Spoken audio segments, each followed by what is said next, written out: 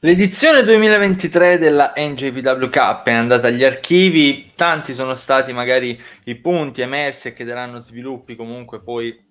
anche in ottica del prossimo evento grosso della eh, New Japan, ovvero Sakura Genesis, ma intanto a mio avviso secondo me c'è qualcosa in particolare che merita un approfondimento, uno sguardo magari più approfondito. Bentornati e bentornate quindi su Wrestling Unico Amore per un nuovo video con voi il vostro Draco per condurvi dentro un nuovo appunto approfondimento e cercare di vedere se darà magari degli sviluppi futuri un po' più concreti o se sarà magari qualcosa di importante in questo momento strettamente presente. Andate appunto agli archivi, l'edizione 2023 della New Japan Cup che decreta il prossimo sfidante per il titolo mondiale della New Japan detenuto in questo momento da Kazuchika Okada a ottenere la vittoria alla fine dopo una combattuta battaglia anche molto buona con vari momenti incerti e eh, Sanada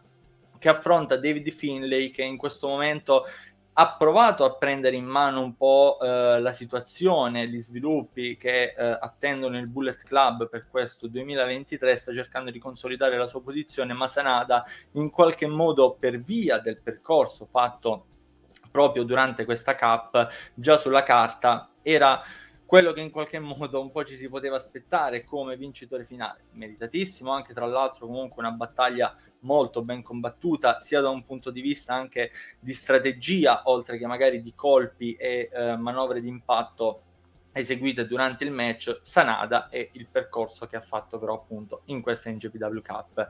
Beh, Sanada diciamo che fino a questo torneo sostanzialmente, dato che ora le cose hanno avuto un po' un, uh, come dire, uno scossone le, le, situazioni intorno a lui all'interno della NCPW, beh, faceva parte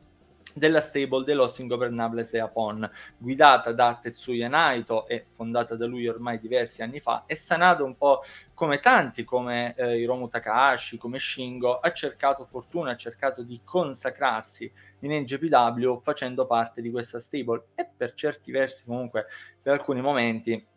è andata anche abbastanza bene per lui, è arrivato comunque in finale di diversi tornei, anche se soprattutto eh, tornei di coppia, dove poi ha ottenuto la vittoria insieme a Evil. Da quando Evil poi ha eh, lasciato i Los Ingovernables per unirsi al Bullet Club, ha cercato di ehm, arrivare quanto più avanti possibile anche con la competizione in singolo, anche qui alcune volte ha sfiorato anche consacrazioni importanti, per esempio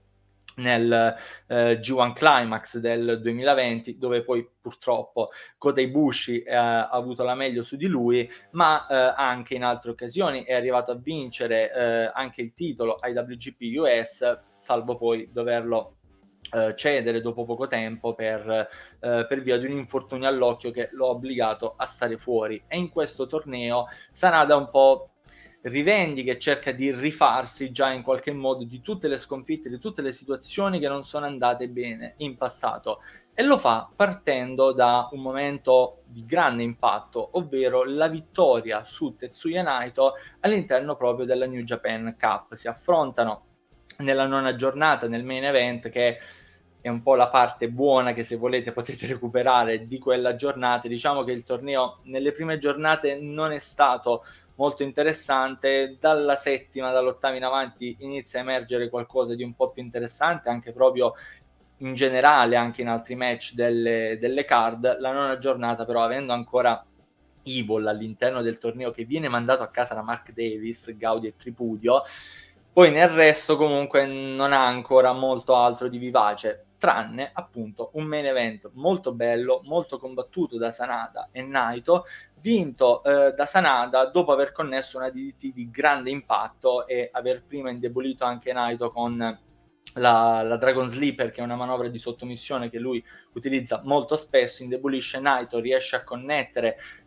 una DDT molto bella, molto di impatto anche proprio visivamente connessa poi da un atleta comunque alto, robusto come Sanada ancora di più, alla meglio su Naito, ma non si preoccupa minimamente delle condizioni comunque del, comunque del suo compagno di stable, magari al di là delle gerarchie all'interno del gruppo, ma comunque in generale un suo compagno. Viene raggiunto invece dai Just Four Guys, eh, un gruppo guidato da Taichi, diciamo, in un certo senso, anche se alla fine è composto dalla maggior parte degli oramai sciolti Suzuki Gun,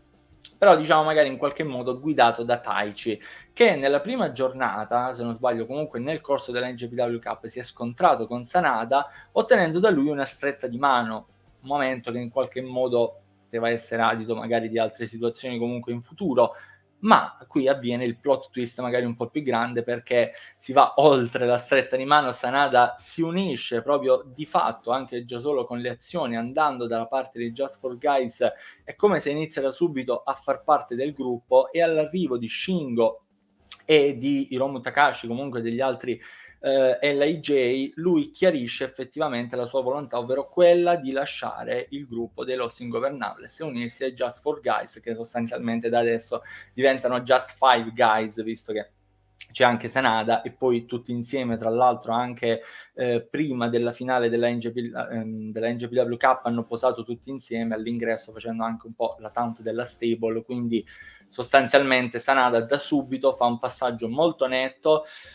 che non tutti prendono allo stesso modo all'interno degli LIJ perché Shingo è palesemente irritato comunque dall'azione di Sanada. E secondo me potrebbe anche essere quello che poi più avanti porta a una separazione violenta che finora non c'è stata, comunque è stata molto diplomatica, anche perché Naito poi nelle conferenze stampa successive ha fatto notare come magari Hiromu Takashi, ma Shingo in particolare, visto che si tratta comunque della competizione dei pesi massimi, quella di cui fa parte Sanada, così come anche Naito, beh, Shingo comunque ha ottenuto diversi successi nei Los Ingovernables, quindi Naito in qualche modo ha cercato di portare avanti comunque l'onore della, della sua stable dicendo che alla fine se Sanada non ha brillato con loro difficilmente magari lo farà in un altro gruppo Intanto arriva alla vittoria della NGPW Cup Sanada, punta quindi Kazuchi Kokada cercando in qualche modo così di mostrarsi credibile e dare seguito con i fatti alle, um, alle parole, tanto che appunto questa uscita dai Lost Ingovernables è proprio per cercare, suo dire, di iniziare a colmare un po' di più il divario che c'è fra lui e un Okada che già arrivato comunque direi a un punto molto in alto, decisamente alto, quindi un proposito molto ambizioso quello di Sanada, fosse anche solo in questo momento per ottenere la vittoria del, del titolo, però in qualche modo cerca di mostrarsi credibile contro un Okada che è tornato ormai a essere in uno stato di grazia molto grande all'interno della NGPW, ha avuto qualche problema anche fisico fra 2020 e 2021, adesso però sempre, sembra decisamente al 100%, quindi a vedersi cosa accadrà a Sakura Genesis dove i due si affronteranno ehm, quello che presumibilmente sarà il main event comunque del, eh, dell'evento e poi in qualche modo quali saranno le dinamiche dei ormai i Just Five Guys che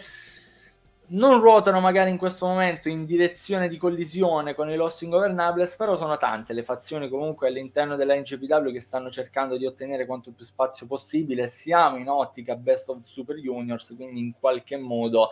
potrebbero entrare in collisione presto con una delle eh, altre fazioni all'interno della, eh, della NCPW. Questa è un po' una prima parte, diciamo, un po' più analitica su cui si può fare maggior discussione emersa dalla New Japan Cup io, come sempre, comunque vi ringrazio per aver lasciato una visualizzazione ai nostri contenuti. Ci potete dare un'ulteriore mano, però magari con un like o anche un commento su in generale quello che ne pensate del, del tema trattato, le opinioni espresse, insomma tutto è graditissimo per cercare di avere un dialogo quanto più grande possibile. Se lo volete fare in modo quotidiano, oltre ai nostri social, Facebook e Instagram, ci potete trovare anche su Telegram dal link qui sotto in descrizione. Dal vostro Draco è tutto per questo primo appuntamento dedicato alla New Japan Cup. Ci fermiamo qui, ci riaggiorneremo per diciamo un contenuto un po' più eh, vario su altri punti emersi da questa edizione 2023 del torneo. Grazie ancora per aver visualizzato e alla prossima.